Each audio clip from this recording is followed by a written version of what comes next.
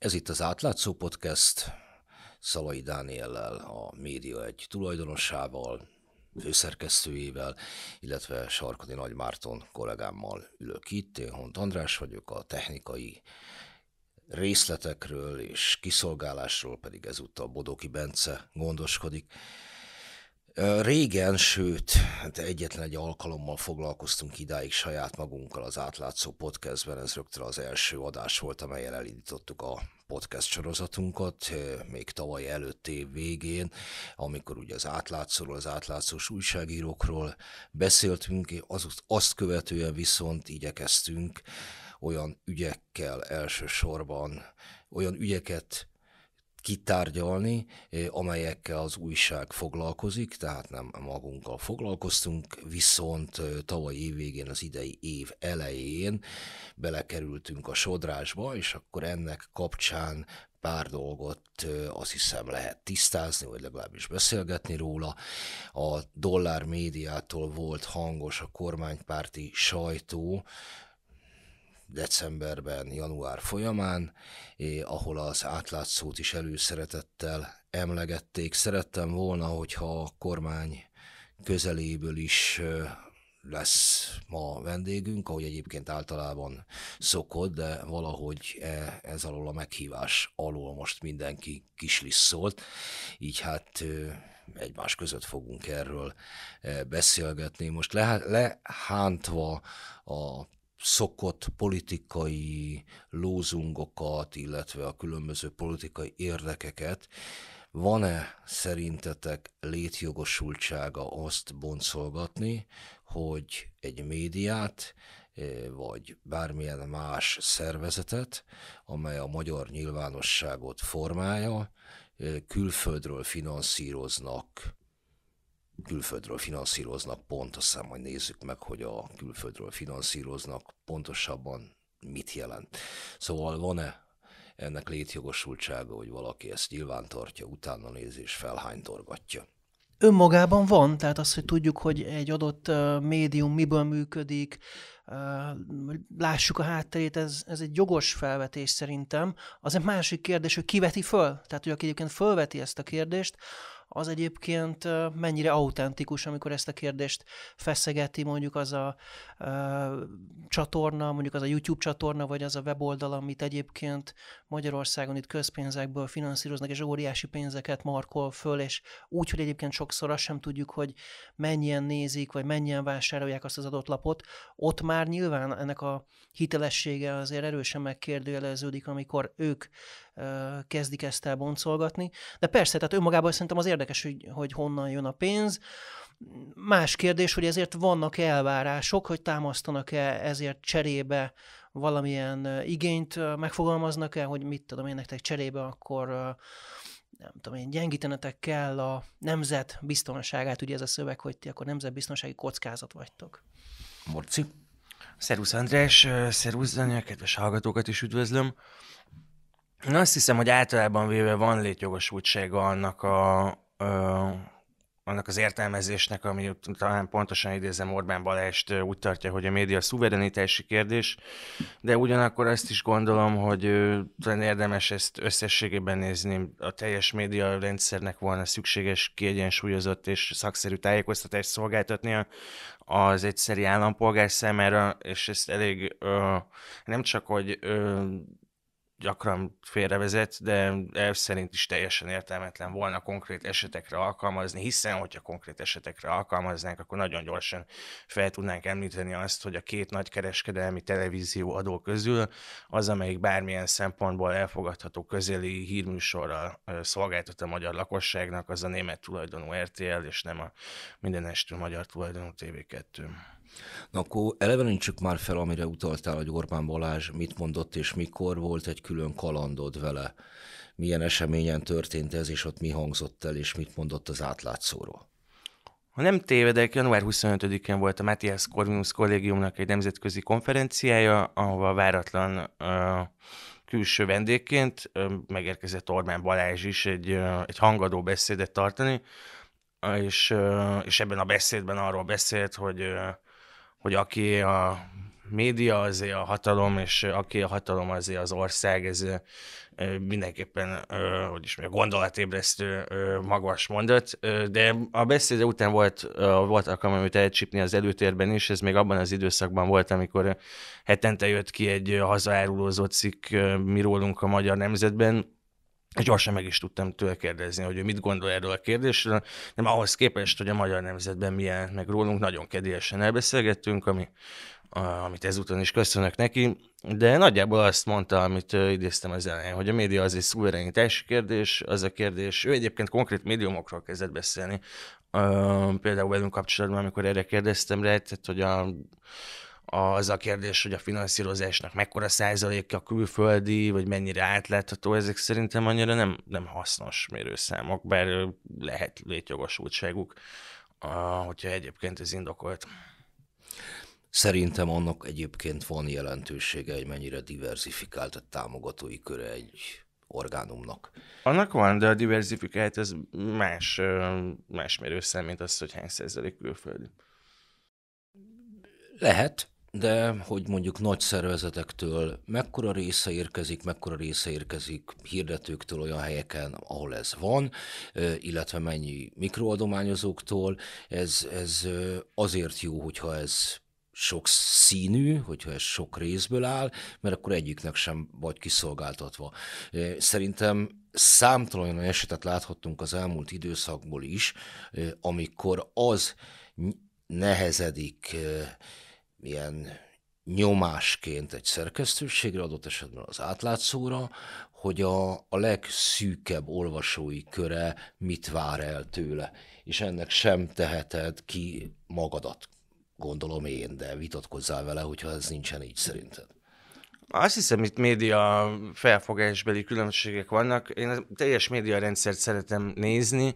Adott médiarendszerbe rendszeren belül lehetnek különböző funkciót ellátó, magukra különböző féleképpen tekintő médiumok, lehet olyan, ami azt tartja a saját maga elsőleges céljának, hogy egy partikuláris érdek vagy véleménycsoportnak az érdekeit, meg a véleményét hangoztassa és segítse elő, akik adott esetben őt pénzügyileg is tudják támogatni, ez lehet akár egy elkötelezett ideológia alapján szerveződő csoport, vagy, vagy nem tudom, nagy bankok, vagy valami. De hát ugyanakkor megvan a létjogosultsága azoknak a szervezeteknek is, amik akik azt gondolják magukról, hogy nagyjából közszolgálatot szeretnének ellátni. Mi például szerintem így tekintünk magunkra. Praktikusan más, más megközelítést kíván az olvasói elvárások menedzselésében a kettő, vagy akár több felfogás. Na jó, mindjárt bele fogok még akaszkodni a mondandód egy számomra kulcsmomentumában, de előtte megkérdezem Danit, hogy te mióta is foglalkozol magyar média viszonyokkal? Nagyon régóta. Gyakorlatilag a 2010-es évek közepén fordult a figyelmem leginkább a médiapiac felé. Előtte én informatikai újságíróként dolgoztam egyébként, és 2010-es években kezdtem el nagyon aktívan a médiapiacról írni a cikkeimet konkrétan, és ezt követni, amik itt történnek még jobban, mint előtte. Ez a még jobban, mint előtte? Hát előtte nyilván, mint újságíró, meg mint érdeklődő figyeltem, de, de onnantól fogva ez még inkább még inkább így volt, tehát voltak már ennek előzményei, tehát azért a 2000-es években is voltak nyilván interjúim médiavezetőkkel, médiapiac különböző egyéb szereplőivel. Ezekben az interjúkban mit tapasztaltál a különböző média tulajdonosok, média menedzserek részéről a megfelelést illetően, tehát hogy ők meg akarnak-e felelni finanszírozónak, vagy, vagy elsősorban kinek akarnak megfelelni, mi az, ami mérőszám számukra, mitől tartják magukat sikeresnek, mi az a hely, ami irányadó számukra onnan megdicsérik, vagy éppen szídást kapnak. Uh-huh. Hát volt, volt szerencsém például egy nagyon professzionális cégnél dolgozni régen a Sanománál, tehát közelről is láttam ott uh, dolgokat, és, és ott például azt láttam, vagy az, azt érdekelt ebből a szempontból, hogy mennyire tudnak beleszólni mondjuk a hirdetők a tartalomba, és ugye voltak ilyen próbálkozások többször, hogy mondjuk írtak valamilyen oknyomozást, még akkor ugye a figyelő oda tartozott a heti lapa szanomához, és mondjuk írtak valami nagy leleplező anyagot, és jöttek ezek a különböző nagy cégek, hogy akkor hát akkor megvonjuk a hirdetésünket nálatok, és hogy hogy ott az volt erre a reakció, amit én ott volt, hogy megtapasztalhattam, hogy azt mondták, hogy jó, hát megvonod, megvonod, de van más hirdetőnk is, viszont azóta annyira megváltozott szerintem a piac, annyira beszűkült minden, és a lehetőségek annyira uh, korlátozottak, hogy azon túl, hogy a Sanoma már nincs is ugye itt Magyarországon, hanem ugye eladták a magyar érdekeltségüket, de ha itt lennének, akkor vajon mit tudnának tenni? Mondhatnák-e még ma azt, hogy hát ha mondjuk egy ilyen MOL szintű, vagy Telekom, vagy valaki elkezdi őket bezsarolni, ha ilyen történik, akkor, akkor nemet tudnak erre mondani, vajon hány alternatíva van, ahol átmehetnek, akkor vagy akitől szerezhetnek bevételeket. És ugye itt jött be az annak idején, hogy akkor szerezünk az olvasóktól pénzt, és akkor a hirdetőktől is próbáljuk meg függetlenné válni. Aztán pont az átlátszó is ezt megtapasztalhatta, hogy mondjuk az olvasók is ezért hajlamosak zsarolni a, a lapjukat, vagy legalábbis ilyen megjegyzéseket tenni, hogy hát, ha mi adjuk a pénzt, mi támogatunk benneteket, mm, átküldtem nektek, nem tudom én, 5000 forintot vagy 50 ezeret, most teljesen mindegy az összeg mértéke, akkor én már elvárhatom azt, hogy akkor ti csak és kizárólag a regnáló kormányt bíráljátok és támadjátok, és ha véletlenül egy olyan sztoritok van, amikor egyébként az ellenzékről jelenik meg valami erős oknyomozás, akkor rögtön jönnek, hogy na hát mi nem erre adtuk a pénzt. Pedig hát, hogyha ti függetlenek vagytok, akkor nyilvánvalóan mindegyik oldalt kell, hogy, hogy, hogy támadjátok, és nézzétek, hogyha van valami olyan támadható ügyük, ami, ami egyébként valóban aggályos, akkor nyilván meg kell írni. Aki fizet, az röcögtet, mondta annak idején a magyar média emblematikus figurája az azóta elhunyt Lovas István, ezt föltehetőleg a saját példájára is gondolhatott így, nagy formátumú figura volt. Egyébként soha nem ettünk egymás tenyeréből. Ezt azért rángatom most ide, mert te szóba hoztad a két kereskedelmi tévét és annak hírszolgáltatását, az egyik német, a másik, illetve magyar tulajdonú, és azt mondtad, hogy lám, lám, a német tulajdonú az, amelyik a magyar közönség számára elfogadhatóbb, pártatlanabb tájékoztatást nyújt. De használjuk már fel ezt a példát arra, hogy megnézzük, hogy így, tényleg így is van-e, és hogy tényleg valóban ezt szakmai sztenderdek mozgatják, vagy valami más. Ugye ami miatt az egész probléma halmaz előkerült, az az, hogy a vagy kormány közeli, vagy önként kormányjal rokon szenvező orgánumok azt mondják, hogy természetesen a őket, vagy általuk mértéknek, mérték tartónak gondolt orgánumokat, azt közpénzzel ugyan dotálják adott esetben, hatalmas eh, mértékben, viszont eh, ez nem más, mint ellensúlyozása annak, hogy másokat meg külföldről, külföldi kormányok, vagy külföldi kormányokkal jóban lévő üzleti vállalkozások eh, támogatják meg, vagy finanszírozzák. És a szóba hozott RTL szerintem erre egyébként állatos, állatorvosi lószerű példa. Ugyanis ő egyáltalán akkor kezdett el hírszolgáltatással foglalkozni, amikor a reklámadót 2015 tájékán dobta be először az akkori kormány, ami megegyezik a mostani kormányjal, bár a személy átfedés azért nem teljes. Szóval odáig a, a, egy átlagos RTL-es híradó műsor blokkjában az első öt hír közé nem tudott bekerülni politikai, té, igazi hard politikai téma, téma. Én egy darabig még szórakoztam is azzal, hogy miközben alkotmányt módosította a országgyűlésben, nem tudom éppen milyen aktuális botrány történt, akkor a, az RTL klubnak a esti híradójában még mindig a hatodik híre valami ötfejű borjú volt, és a kisiklott vonat és amint a gazdász számára fájó pénzügyi szankciónak vagy elvonásnak tekinthető valamit lebegtetett meg a kormány, na akkor talált rá arra, hogy akkor nekik itt valamiféle mm, komoly oknyomozásszerű, vagy legalábbis tárgyilagos hírszolgáltatást kéne nyújtaniuk. Mennyiben gondoljátok, hogy az előbb általam elmondott narratíva megállja a helyét? Én jogosnak tartom ezt a kritikádat abszolút. Uh, ugye ráadásul Dirk Gerkens volt ugye akkor a vezérigazgató, aki ezt a harcos üzemmódot uh, fölkapcsolta ott a híradóban, aztán amikor alakultak a dolgok, akkor ugye átment végül a TV2, az ugye átkerült, és a TV2 uh, élére került, ugye az is egy ilyen érdekes uh, fejlemény volt, és aztán Andy Vajnának lett a ügyvezetője, tehát a TV2 tulajdon, vagy az Andy Vajna tulajdonában lévő TV2-nek lett a vezetője, ahol pedig abszolút mondhatjuk azt, hogy becsicskult az egész hírszolgáltatás, ami akkor már látszott, tehát ez, ez önmagában Ami is akkor sokat... talán már akkor kerül akkor Szalai kezd- Kökény Vivien akkor kezei igen, közé. Igen, igen. Tehát de ez önmagában is beszédes szerintem, hogy, hogy itt mi történt.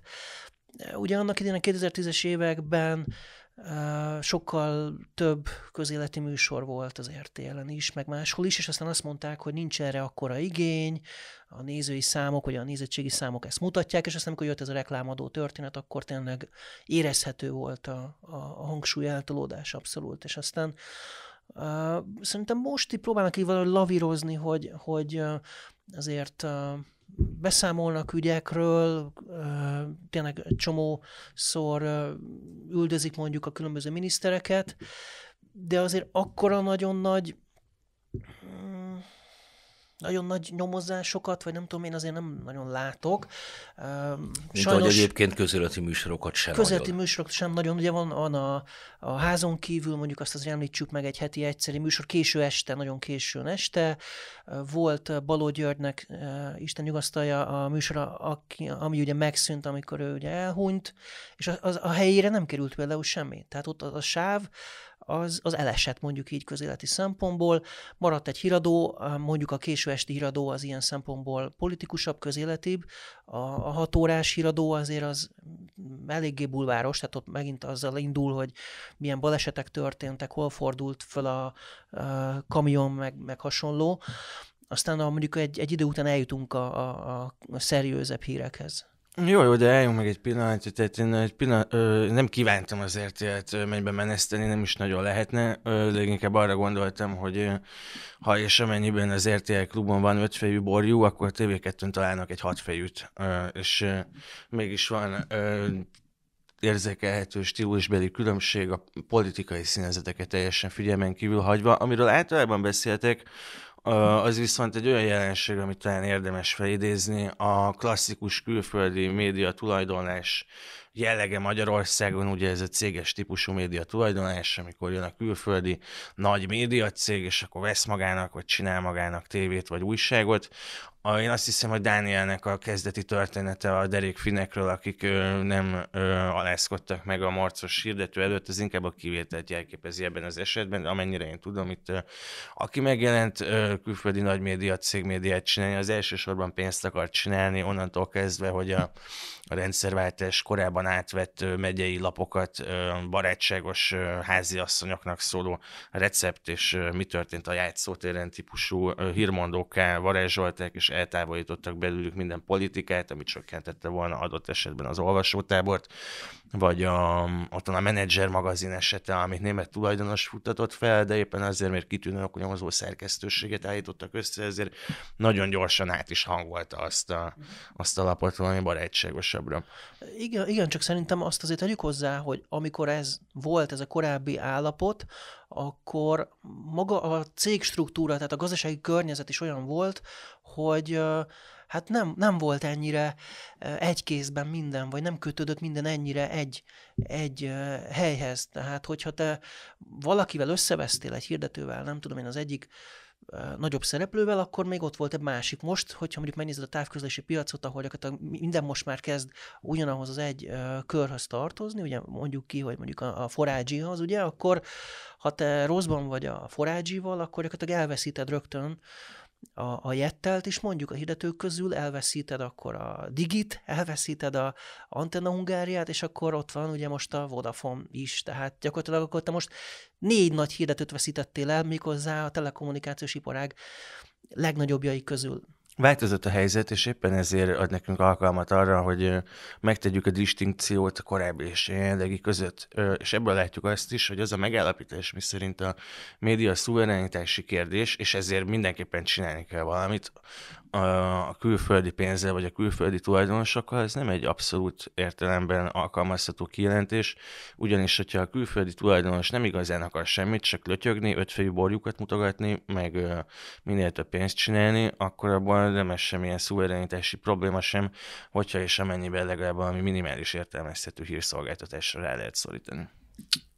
Azért feszekedtem ezt a kérdést, mert mérhetetlen önérzetesen tudjuk visszautasítani a tudjuk alatt értve a magyar sajtóban még jelenlévő szereplőket, újságírókat, különböző nyilvánosságot formáló személyeket, amikor támadás ér minket, amikor különböző érdekeknek a, a megjelenítőiként próbálnak bemutatni minket, vagy csak úgy általában a kormány média kerül szóba, illetve az a helyzet, amelyet mind a ketten többször is felidéztetek azt, hogy az egyik oldal mögött kormány milliárdok sokasága áll, és akkor ehhez képest szeretjük magunkat bemutatni, eh, mint eh, valamiféle hótiszta eh, lovagjai a pártatlan tájékoztatásnak, mint hogyha lenne valamiféle kapásból kész ötletünk arra, hogy a általatok említett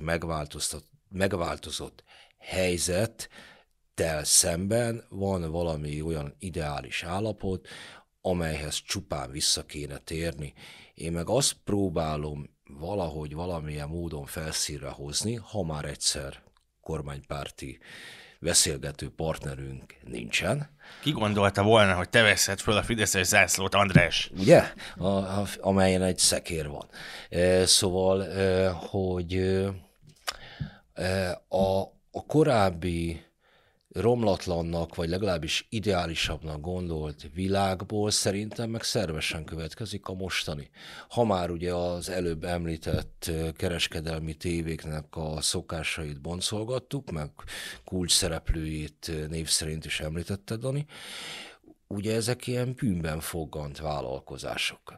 És nem hogy a 2000-es, de hát még a 90-es években a, a többször említett német médiacég nem is nyerhette volna meg azt a frekvenciát, amelyet egyébként megkapott végül, és nyilvánvalóan ezért valamiféle ellenszolgáltatást tenni kellett. Vagy ott van a, a már szintén említett, Deutsche Telekom, hát a, a legnagyobb magyar hírportál nem egy magyarországi, hogy is mondjam, heri satu között tartott valaki adta oda a magyar kormánynak, hanem a Deutsche Telekom személyesen. Azért, azért erre hadd reagálják erre a telekomos részére, hogy hát azért az is kellett hozzá, hogy azért, hogy azért kényszerült a Telekom arra, hogy átadja az origót, mert a frekvencia pályázaton viszont szorongatták, tehát az állam visszaélt mondjuk így a helyzetével, vagy az állam szereplői, amikor azt mondták, hogy hát akkor nem adunk frekvenciát, hogyha egyébként itt most nagyon birizgáljuk a londoni utazásokat, a,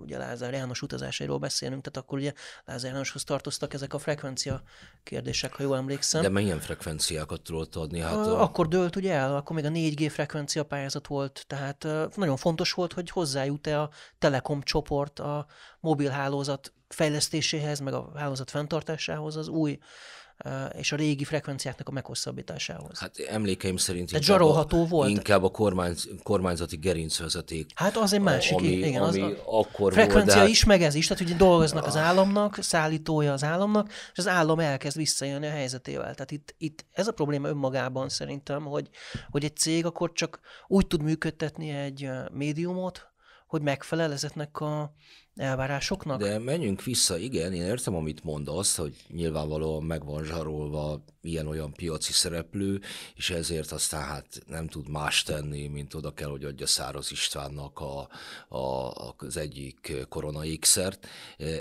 De amiről én beszéltem, azok 96-os történetek, amikor ilyen jellegű zsarolások még nem történtek, viszont a magyar jogszabályok megkerülésével nyílbeütött zsíros üzletek azért már voltak. és hogyha valami bűnben fogant, akkor ugye a későbbiek során is erre azért hivatkozni lehet. Vagy még egy példát hozzunk ide, ahol viszont a szereplők magyarok, ahol Marcival mind a ketten dolgoztunk, én aztán még jóval hosszabb ideig. Ez ugye az ország legnagyobb heti lapja, gyakorlatilag egy darabig egyedülalkodó heti lap volt, annak ugye a Marci csupán az internetes verziójánál tevékenykedett, ahol a, a szintén a 90-es évek óta a legnagyobb lakossági bank nem volt hajlandó hirdetni, mert egy, a a HVG-nél az volt épp csak, hogy ne izé, ugráltassuk egy karikának, kedves Természetesen, ahol az egy, egykori legendás főszerkesztő azt írta a lakossági bank elnök vezérigazgatójáról, még mielőtt krakiller módon egyértelműsíteni megint a helyzetet, igen, Csányi Sándorról azt írta Lipovec Sziván, hogy mohó. Ez volt az első ilyen megütközés, keltőpont, a második pedig, hogy a HVG egyik gazdasági újságírója a csányi agrárvállalkozásoknak ment szorgos módon utána. Ebből az lett, hogy tizenvalahány évig egyáltalán nem jelent meg a legnagyobb heti lapban a legnagyobb lakossági bank hirdetése. Ez kiegyensúlyozott nyugati médiapiaci viszonyok szerint egyébként önmagában elképzelhetetlen. Szerintem nem. Ne, nincsenek olyan illúzióim az úgynevezett nyugatról, hogy megfelelően nagyméretű bankok, vagy akármilyen hasonló vállalatok ne tudjanak megfelelő mértékben megsértődni adott esetben nagy és fontos médiumokra. A kérdés az az, hogy működik-e a rendszer meg a piac egészen annyira, hogy akkor megjeleníjen valaki más, és szépen betöltse ezt a helyet, és aminek van értelme, az tovább tudja működni. Erre céloztam én is az előbb egyébként, hogyha kiesik egy hirdető, akkor egyébként bekerül a helyére más. Lehet, hogy az OTP nagy hülyeséget csinált, mert átengedte ezzel a versenytársnak a felületet, és akkor ott volt mondjuk helyette, a nem tudom, az MKB-nak, vagy nem tudom, de ugye most ebben a kérdésben is oda jutunk vissza, hogy akkor gyakorlatilag a bankrendszer is, hogy, hogy ott is egy kézbe kezd minden összpontosulni, tehát hogyha te most összeveszel az MKB bankkal, akkor akkor lehet, hogy hasonló helyzetben találod magad, és akkor már az OTP kiesett, akkor szép lassan minden kiesett, akkor ki fogja uh, eltartani ezt a lapot, mint hirdető. Persze, hát hoztátok a Deutsche Telekomnak, meg az Origónak a példáját, hogy a Deutsche Telekomot nagyon jól meg lehetett fogni a pénzt csináló bizniszével azért, hogy hogy adja ki a kezébe a médiáját, de minden piaci alapon működő médiacégnek van pénzcsináló biznisze, amit meg lehet fogni, ez maga a médiacég, praktikusan hirdetésekkel, vagy a régi nyomtatott újságos időkben előfizetésekkel is valamennyire csinált pénzt, de hát hogyha a hirdetést ezt elszeded a médiacégtől, akkor a médiacég az ilyen fog halni. Maradt egyáltalán értelmezhető méretű külföldi médiacég Magyarországon releváns tulajdonnal az egy Bertelsmannon kívül, aminek az RTL TV-jét már mondtuk. Hát van hát még a Ringier, mondjuk, igen. Kettő. Márkárd, média, de az elég pici, tehát azért az... Tehát akkor ezt a híres külföldi... Meg nem közéleti tartalmat állít elő, tehát az magazin, inkább ilyen női tartalmak. Ah, lehet, ezek, ezek Néhány szereplő marad, de gyakorlatilag egy kézen megszámolható az, aki komolyan vehető, és ez a probléma. Ez is, ez is a probléma szerintem, hogy, hogy e, szerintem azért ezek elég professzionális vállalatok voltak egykoron, de András, lehet, hogy te ezzel nem értesz akkor egyet, hogyha ha, ha, ha, ha jól sejtem, hogy, hogy te azt mondod, hogy ezek is azért nyilván korruptak voltak, vagy nem voltak jó cégek, vagy ott is voltak nyilván problémák, és ezt én nem is tagadom, nyilván hogy voltak, csak, csak azért azt gondolom, hogy amikor sok szereplős a piac, hogyha van itt külföldi is, meg van mindenféle, akkor, akkor sokkal biztosabb, vagy biztonságosabb lábakon tud állni, hogy választhatsz, hogy te hova mész dolgozni, nem vagy kitéve annak, hogy csak egy magyarnál tudsz mondjuk dolgozni, és akkor gyakorlatilag már be vagy csatornázva abba a, a függőségi folyamatban, hogy akkor te már zsarolható vagy, mert az állam belenyúl ebbe az egészbe mondjuk. Én nem hiszem, hogy csodaszép volt ez a világ, ebben egyetértek Andrással, de ugyanakkor fontosnak tartom megegyezni, hogy, hogy ha sötét múltra, nem tudom, a külföldi média tulajdonosok elmúlt nyolc évére gondolunk, akkor ez a világ az megszűnt, ezt kicsinálták. Tehát, hogy a, a háborúban elfogyott az ellenség, nincs értelme sok sok hasonló zászlólobogtatásnak. A külföldi finanszírozás, amit panaszolnak, azok nem maradó médiacégeknek a jelenléte és gyakorlata, amit panaszolhatnak, hanem magyar szerkesztőségeknek pályázati alapú külföldi finanszírozása teljesen más történet. És egy reakció arra, hogy elfogytak a piaci források, hiszen senki sem lesz olyan botor, hogy ott hirdessen, ahol a kormány nem szeretné, hogy hirdessen.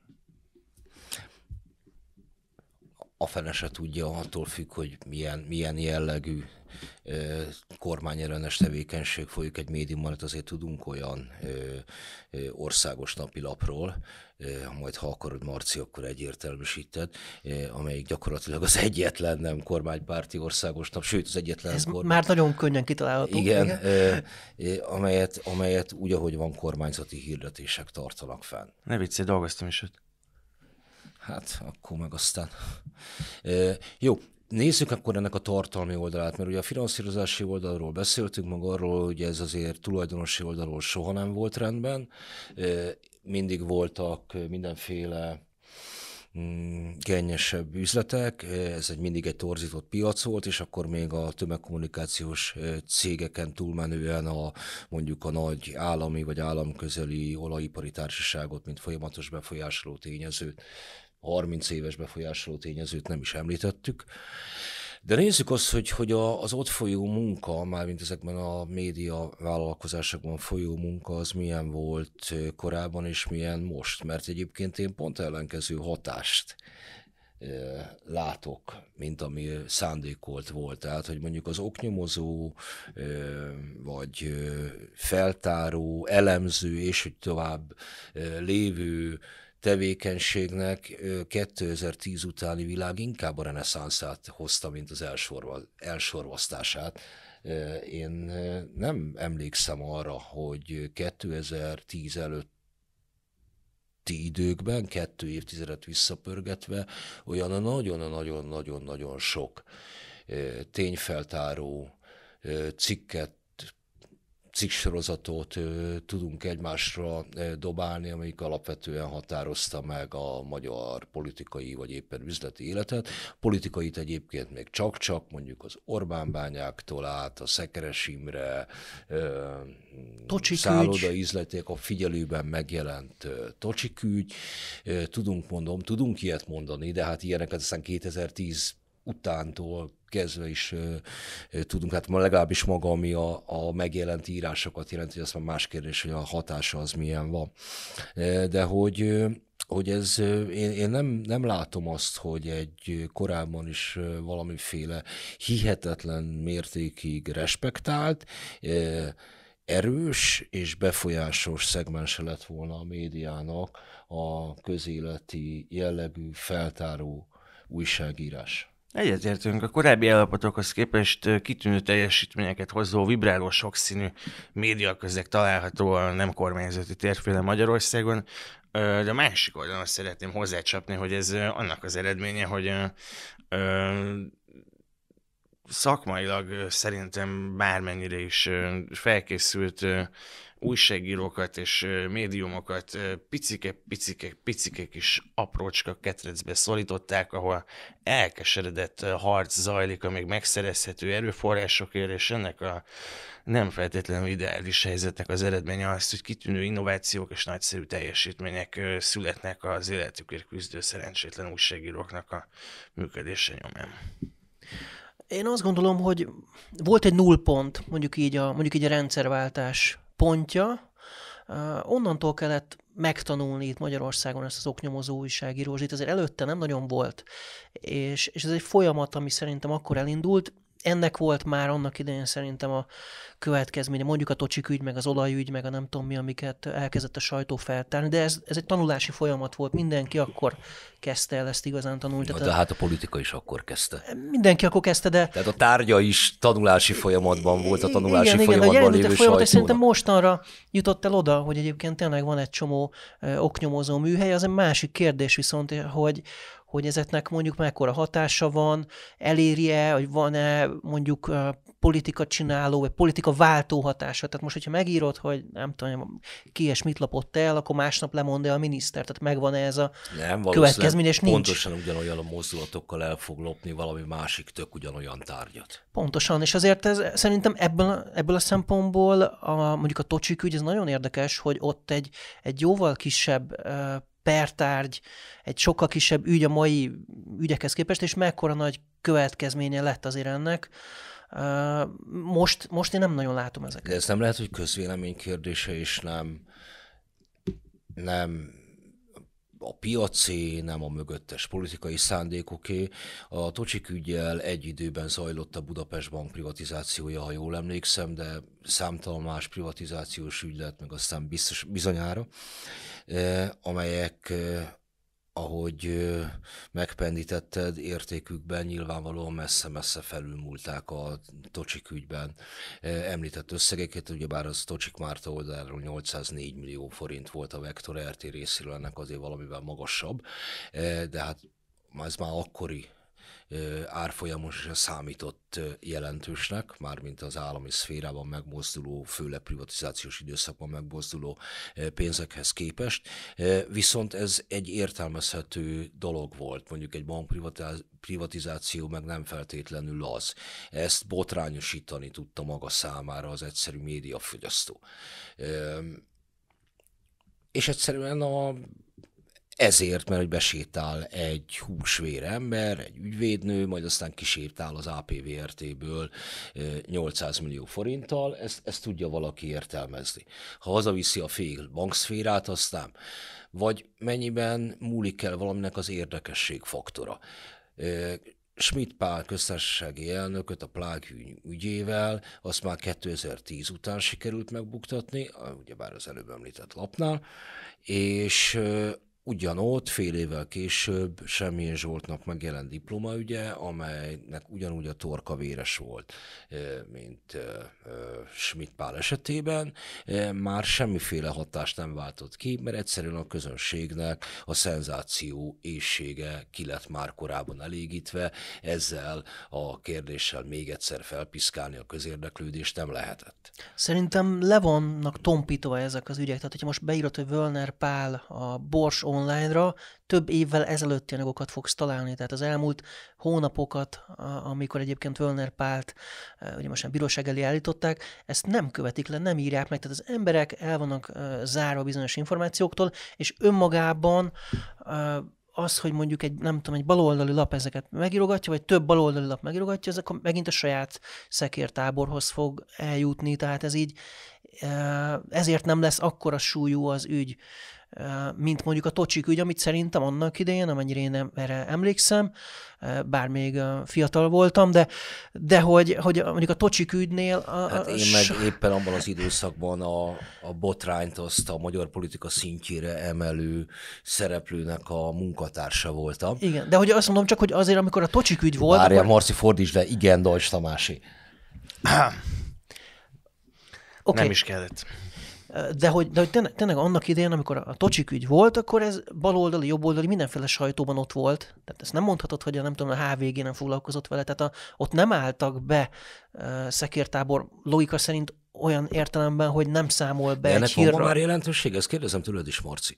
Én ezzel elég sokat szoktam gondolkodni, meg, meg például meg felszoktam magamnak tenni a kérdést, hogy na és én milyen újságot olvasok. Szerintem Mert egyébként itt... semmilyen újságot nem olvasok, és minden ö, releváns hír mégiscsak eljut hozzám, de mert hogy szerintem nem lehet ilyen módon leárni. Te egy újságíró vagy, te azért követed jobban a, a közéletet, azért átlag emberek. De nem saját, írom be azt, saját, hogy telex.hu. Három dolog történik egyszerre, csak még mielőtt elhagyjuk ezt a témát, szeretném hozzáfűzni, hogy szerintem melyik három dolog történik egyszerre. Ugye az az alpálásunk, hogy az újságírás sehogy sem ö, tud ö, jelentős változásokat ö, azonnali változásokat konkrét ügyekben előidézni, ha csak nem a botránynak az eszközével. A, botránynak az előidézése vagy hogy is mondjam, a politika oldaláról a sajtónak a menedzselése abban a tekintetben, hogy ez a botrány lehetőleg ne idéződjön elő. Ez az idővel is változott és finomodott, és nem feltétlenül magyar specifikum, vagy Orbán Viktorra, vagy a Fideszre jellemző specifikum. Magyarországra jellemző ö, specifikum az, hogy egyébként a ö, médiarendszer, mint ahogy az államnak, meg a társadalomnak a többi alrendszerei, azok ö, a szokásos liberális alkotmányos rendszereknek a szabálykönyvét felrúgva működnek, és adott esetben jelentősebb média kontroll érhető el, mint mint hagyományos liberális demokratikus alkotmányos berendezkedésű államokban. Viszont a harmadik rész szerintem a legérdekesebb, ez pedig az, hogy nagyon sokszor nem is veszik észre a nem, a, nem feltétlenül a kormánytér felé a focizó játékosok, hogyha sikerült gólt elérniük. Hozom a példát. Két évvel ezelőtt mi is írtuk, és sokan mások is ráugrottak a témára, hogy Rogán Antal akkor új felesége vásárolt magának egy Um, aláírt egy szerződést arról, hogy vásárol. Megvásárolja Magyarország egy részét. Egy, hat, egy, egy jelentős, nagyon jelentős mértékű földbirtokot, ebben volt botrány. És a, a, ugye az lett a végkifejlete ennek a történetnek, hogy a vásárlás nem ment végbe. Ezt a, amennyire én érzékeltem, úgy az ellenzéki olvasóközönség, mint az ügyet kergető újságírók, akkor jelentős részben csalódásként érték meg, annak ellenére, hogy konkrét következménye volt a cikkeknek, nem vett magának fél Borsod megyét, Rogán Antal felesége és az üzlettársai. Az ott egy győzelem volt, és nem vette észre senki. Ez 2021. Aha. Én ezt meg kormánypárti berkekből azt hallottam az időtájt, ugye azért mondtam, hogy 2021, mert több mint egy évvel vagyunk az országgyűlési választás előtt, és akkor a miniszterelnököt többször fogadták az övéi, még koronavírus disztópia közepén vagyunk, még, még sok minden van, már, már, már kézzelfogható a háború is, és, és a gazdasági bajok e, egész Európa szerte már, már fekete felhőként tornyosulnak a láthatáron. Hogy mi a, nem, nem aggódik-e a választás miatt, mire a Fideszes plegyka szerint a miniszterelnöknek rendre az volt a válasza, hogy nem, nem lesz semmi probléma, ha csak a Tóni még egyszer nem nősül. Na igen. Egy miniszterelnöki poént csináltunk. Hát mi a siker, hogyha nem ez? Ja, értem. Igen, egyébként igen, természetesen, hogyha ilyen módon legalább be lehet hekkelni, akkor, akkor elérte az ember legalábbis a, a céljainak, céljainak a nem várt részét. No, hol is tartottunk, hogy mielőtt a három dolgot, amit el akartál mondani, hogy, hogy hol, ugye, hogy mi a hatás, és hogy, hogy ebből az, hogy nem, nem veszi észre a sajtó, hogy mi az, amikor gólt rugott. Na jó, akkor ez egy kellően jó átvezetés ahhoz a fejlődésemhez, hogy kössem tovább az ebet a karóhoz és a külföldi finanszírozáshoz, hogyha te ennek az országnak, a ország közéletének szerves részét alkotod mondjuk újságíróként, abban az esetben számodra problémát fog okozni az, hogy megírsz valamit, aminek várnád, hogy lenne hatása, majd nincsen hatása. Előbb-utóbb önmagában ezt a kérdést fogod tematizálni, témává tenni írni arról, hogy miért nincsen hatás. Rendszerszerűen megpróbálod leírni, hogy akkor ez, ez hogy, hogy működik. De nem biztos, hogy rá vagy erre szorítva, hogyha nem vagy szerves része a magyar közéletnek újságíróként, hanem mondjuk egy külföldre eljuttatott jelentésben csak ki kell pipálnod, hogy te abban az évben mit dolgoztál. Tehát, hogy ilyen módon amivel vádolják a független média egy részét, hogy külföldről kap pénzt, ezért hatékonyan száll szembe a magyar kormányainak, eh, inkább az árnyoldalait látom, hogy, eh, hogy eh, nagyon sok esetben a külföldről való finanszírozás, főleg abban az esetben, hogyha ez teljes egészében jellemző egy szervezetre, mondjuk nem feltétlenül újságírói szervezetre, hanem mondjuk bár másfajta watchdog tevékenységet ellátó szervezetekről is beszélhetünk. Tehát abban az esetben nem érdekelte abban, nem biztos, hogy kiborítja magát azon, hogy, hogy van-e hatása annak, amit ír, hiszen számára az a hatás, hogy akkor e, a jól végzett munka, hogy ő egyáltalán megírta, feltárta, sajtótájékoztatót tartott, performance-t tartott, e, a jövő évben is meg lesz a, a dotáció nem tudom, mennyire volt követhető. Teljesen követhető volt, szerintem ezt a potenciális problémát nagyon jól elhárítja a kormány azzal, hogy, hogy csak azért is ellenségnek nevezik ki az újságírókat, tehát hirdetések már nincsenek, akkor a külföldi támogatás a baj, most már a magyar olvasók kisadománya is baj, minden baj, az újságíró meg fog sértődni, és csak azért is hatékonyan fogja végezni a munkáját, akár csak ki kell pipálni az amerikai listán a dobaszkát, akár nem.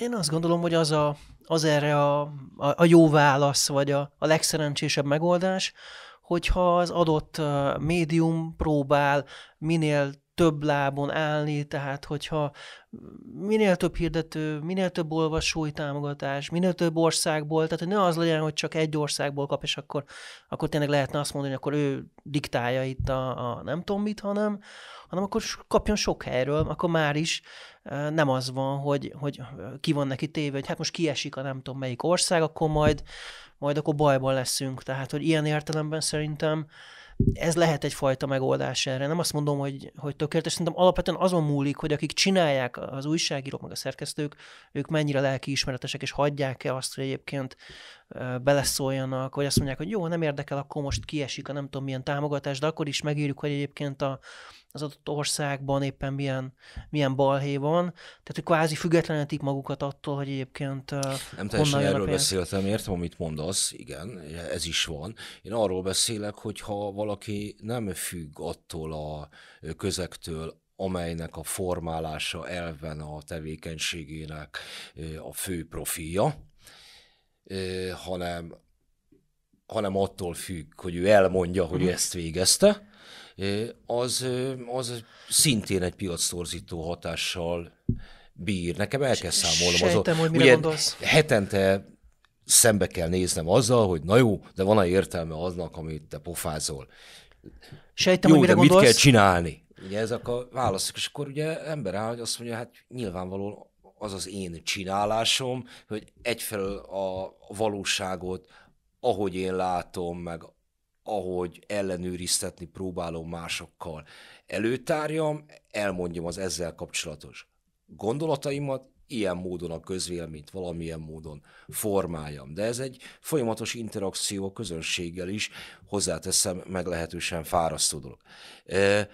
Viszont, ha ennek nem vagyok kitéve, hanem csak le kell gyártanom a megfelelő mennyiségű aktivizmust vagy cikket, akkor mondjuk kapok egy olyan versenytársat, én, nem a kormánypárti média, aki ennek nincsen kitéve. Én sejtem, mire gondolsz, tehát, hogy vannak olyan médiumok, amik mondjuk úgy, hogy kényelmesen el vannak abban, hogy egyébként kapnak pénzt, és akkor nem annyira küzdenek azért, hogy nagy elérést egyébként tudjanak fölmutatni, viszont itt szerintem az a probléma, hogy, hogy ők nincsenek elszámoltatva, vagy nincs, aki azt mondja, hogy egyébként te miért ekkora az elérésed, miért csak ennyi követőd van, miért csak ennyi hatást vált ki a te cikked. Tehát így alapvetően szerintem ez egy ilyen működésbeli probléma, vagy működésbeli hiba, illetve strukturális, strukturális gond. Meg, meg mondtam, hogy ez a lelki ismeret, hogy lehet, hogy oké, okay, hogy nem, nem kéri rajtam számon senki, hogy most hány ember olvasta el azt a cikket, de egyébként én akkor is megosztom sok helyen, vagy úgy írom meg, hogy ezt sokan elolvassák, függetlenül attól, hogy egyébként nem kopogtat holnap reggel a nem tudom én kicsoda, és nem veszi le a fejemet azért, mert hogy egyébként csak nem tudom én 500-an vagy 5000 nézték meg az anyagot. Ezek a jelenségek egyébként a, akár történeti, akár piaci körülmények között ugyanígy felbukkannak. Tehát a, a, mit tudom én, amíg még sokan vették a HVG-t, azt úgy is viszi magával az inercia, aki megvette múlt héten, az jó esélye meg fogja venni ezen a héten, és a fejedre is elhagysz az író asztalodon, akkor is el fog menni ugyanannyi HVG, mint amennyi elment a múlt héten. Ö, ha lesz szeretnéd csalni a munkát, akkor adott esetben le tudod csalni a munkát egészen addig, amíg nem jön a felettesed, hogy ez neki nem tetszik. Hát, vagy meg nem érkezik a nyugdíj. Mármint a nyugdíjas lét. Azt mondtad, hogy a az elérések hogy állnak, vagy az elérésekkel kapcsolatban példányszámokkal, vagy olvasottsággal hoztad összefüggésbe az előző kérdésemet, Dani. Nézzük, hogy tényleg ilyen hatással van-e a, a piacra hogy hogyan is alakul jelen pillanatban kifejezetten az online média elérése Magyarországon, milyen változások történtek ebben a tizenvalahány évben, amelyet most magunk mögött hagytunk. Fú, hát rengeteg változás volt az onlineban is, meg a, meg a nyomtatott piacon is. Ugye most, hogyha az elmúlt napokra gondolunk, amikor a 888-ba olvat mondjuk az Origo alá, az is egy ilyen, egy ilyen érdekes változás. De hát uh, sorolhatnánk azt, hogy mondjuk a bulvár hogy tört előre, meg ezek a kattintásvadász uh, címek, meg kattintásvadász oldalok, oldalak, uh, mint mondjuk itt a promotions.hu, amelyik ott tud lenni akár a top 10-ben is, hogyha megnézzük a havi összesített piaci adatokat. És hát, hogy ez egyébként jó-e vagy nem, ezt talán nem is biztos, hogy olyan hosszan kell ecsetelni, hogy amikor ilyen átverős anyagok... Ezt hetten csinálják legjobb tudomásom szerint. Teljesen mindegy, hogy mennyien. Az a lényeg szerintem, hogy, hogy, hogy mennyire korrekt, vagy éppen mennyire nem korrekt egy, egy adott lapnak a, a címadása, vagy a, a történetei valósak-e, vagy sem. Szerintem ez valahol elismerésre is méltó, hogyha kevesen érnek el egyébként egy nagy, nagy elérést.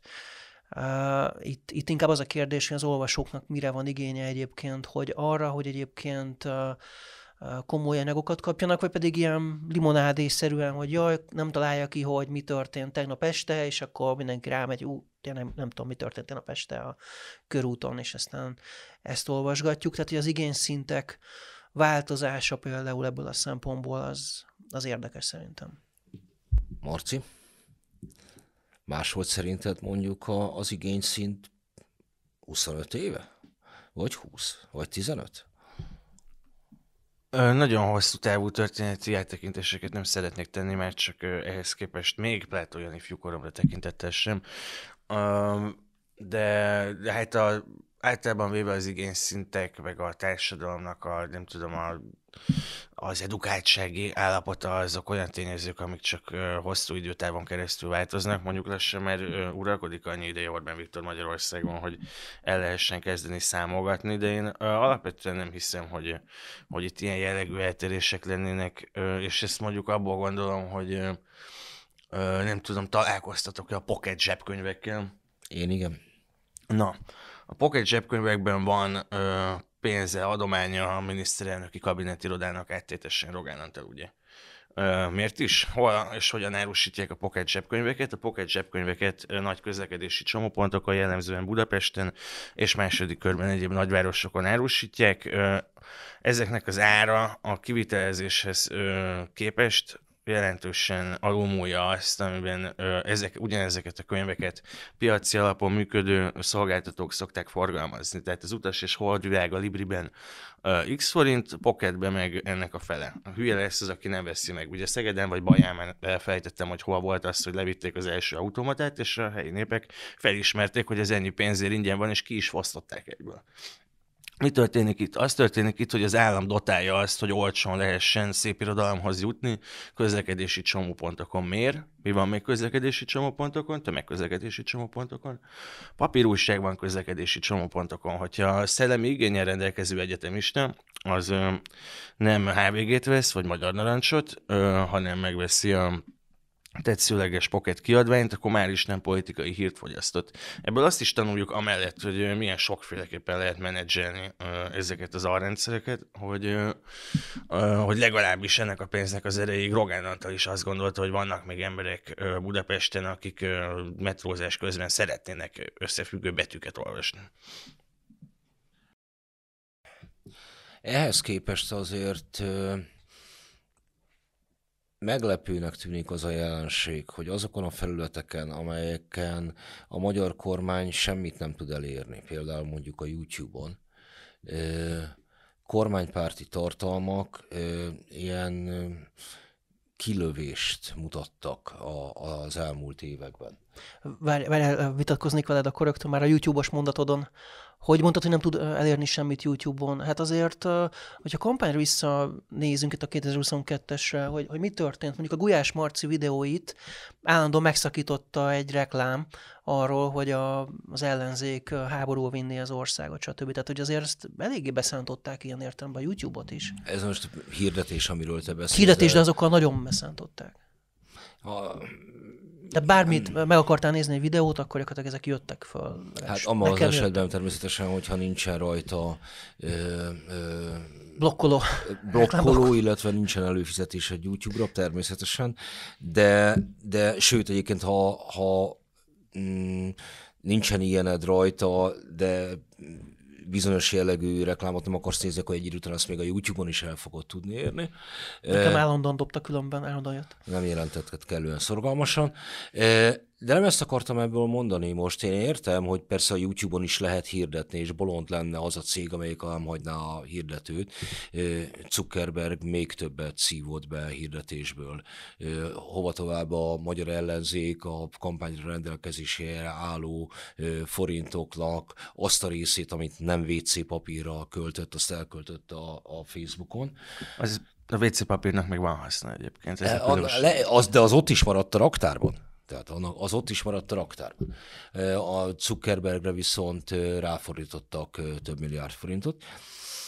Szóval, hogy bolond lenne az a, a, az a cég, amelyik nem fogadná be a hirdetést, de én arról beszélek, hogy azok a meg nem hirdetett tartalmak, Karcefel, Hír TV, vagy akár egyszerű magánblogó Bogár Lassi bácsi éppen aktuális fantazmagóriái, azok azok hihetetlen ö, elérést produkálnak, ö, a Partizánt és még egy-két műsort ö, leszámítva, igen, az ötöt, ö, le, leszámítva ö, a más jellegű tartalmakhoz képes, de legalábbis pariban vannak velük, anélkül mondom, hogy rá lennének hirdetve. Tehát Bayer Zsoltra kíváncsi a magyar YouTube-ozók egy jelentős része, legalább annyi van, mint mondjuk Gulyás Mártorra. Hát nyilvánvalóan terelődik át egyébként a tévénézők egy, egy köre, vagy a tévénézésre fordított időnek egy része a YouTube-ra, vagy pedig mellette, tehát azt azért látjuk, hogy megmaradt a tévézés is elég jelentősen, mindig ezek a ilyen négy meg hat órák, hogy attól függ, hogy milyen korcsoportot nézünk, azért az nagyon sok, de hát persze, följött a YouTube nagyon, nagyon sok tartalom van, és vannak nagyon nagy elérések, igen akkor neked megfordítom ezt valahogy kicsikét máshogy. Én azt a jelenséget látom, ez a leked, ez a Marcinak szólt, szóval én azt a jelenséget látom, hogy, hogy politikailag nagyon beálltak a közönségek. Tehát ehhez, ehhez már nincs is szükség különösebb anyagi manipulálásra. A háttérben egyszerűen a saját világ megfejtéseiket, azokat már meglehetősen megszilárdították magukban, és, és dühösek lesznek, hogyha nem foglalkozik valaki olyan témákkal, amit ők éppen fontosnak tartanak a világ egészéből. Az ellenzékiek többnyire ez ugye már Orbán Viktort visel dolgait illeti, kormánypártiak pedig éppen meg, meg azt, hogy az Európai Unió eh, milyen balfogásokat eh, követ most.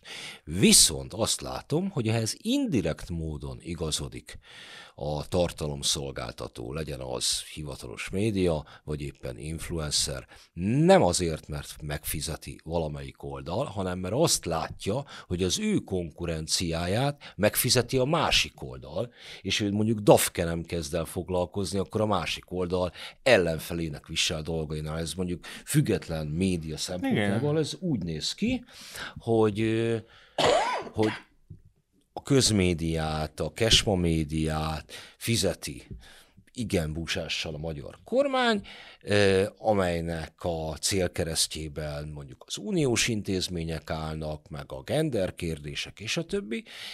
Ezért ő ezzel nem, hogy nem foglalkozik, hanem inkább reflexből védi, mint egy ilyen idealizált valamiként mutatja be. Mert egy-kettő médiumot leszámítva szinte teljesen így van most már a magyar médiában. Én elhűlve nézem egyébként, hogy mondjuk milyen nyugat, makulátlan nyugatkép bontakozik ki. Ez nem volt jellemző a magyar médiára a 90-es vagy a 2000-es években sem. Meglehetősen árnyalt, még hogyha nem is feltétlenül tényadatolt, de árnyalt kép alatt képet próbáltak kialakítani a világban éppen zajló tendenciákról, és nem voltak vele feltétlenül elégedettek vagy boldogok miatt a, magyar médiában dolgozók, és ennek azért hangot is adtak. Egyetértek azzal, amit mondasz, de hát ö, ugye ennek a, ennek a sajnálatos ö, fejleménynek vannak, vannak jópofa csúcspontjai, amiket érdemes kiemelni. Ez egyik maga végül a, a tényleg az ellenzék amerikai támogatásába tényszerűen kifutott történet, amit a független sajtó nagyon-nagyon óckodva és nagyon-nagyon berzenkedve volt hajlandó egyáltalán észrevenni, hogy van ott valami.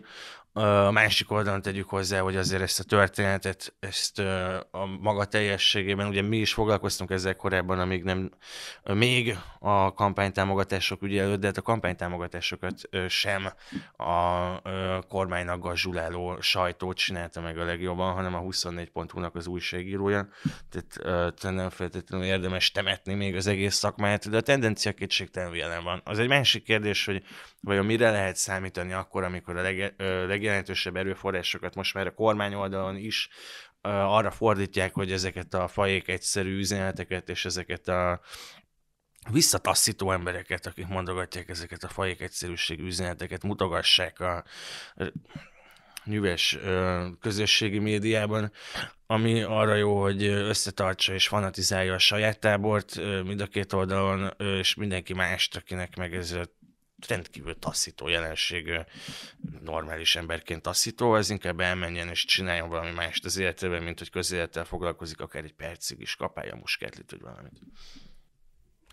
Dani, azért mondjál valamit, hogy ne ezzel a mérhetetlenül optimista zárszóval fejezzük be a mostani podcastet. Kezdtük ezzel a dollár média, meg nem tudom, ilyen dollár gondolattal, és lehet, hogy azzal érdemes zárni, hogy én, én azt elmondom nagyon szívesen, hogy hogy szerintem azért az, egy, az egy virágzó piac volt, amikor itt még voltak dollárok a magyar médiapiacon, meg amikor volt euró, tehát mielőtt kivonultak ezek a, ezek a szereplők, akikről beszéltünk, és azért mondom, én egy kicsit ilyen nosztalgiával emlékszem ezekre az időkre, és, és nem pedig úgy, mint hogyha bűnöző lenne, aki elfogad egyébként dollárt, tehát most a, az átlátszót, vagy nem tudom, én nem, nem gondolnám, hogy egyébként nemzetbiztonsági kockázatot hordozna. Politikai kockázata persze van a, adott kormánynak mondjuk, hogy, hogy ti megírtok mondjuk ügyeket, ami, amik nekik kínosak, de ez politikai és nem nemzetbiztonsági kockázatot, ez saját kockázatuk.